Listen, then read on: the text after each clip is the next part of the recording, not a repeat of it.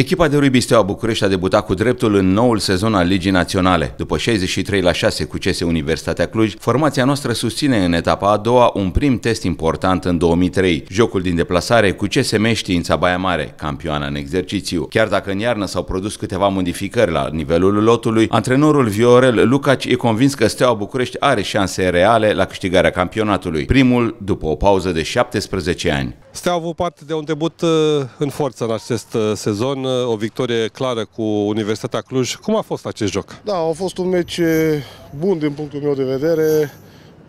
S-a văzut o echipă dornică de, de a juca, ceea ce, ce a contat foarte mult pentru mine, că echipa și-a dorit să, să joace.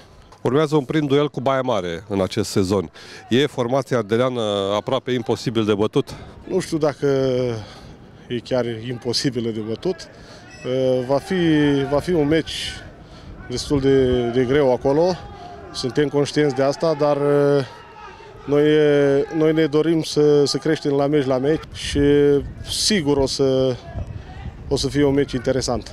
Steaua nu a mai câștigat titlul din 2006.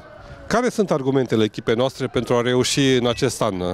primul rând trebuie să formăm un grup, un grup unit. Cred că asta ne-a lipsit mai tot timpul. Să-i facem pe băieți să conștientizeze că sunt la un club mare și care are nevoie de performanțe, are nevoie de campionat. Am reușit anul trecut să câștigăm cupa, dar nu e suficient. Avem nevoie de campionat.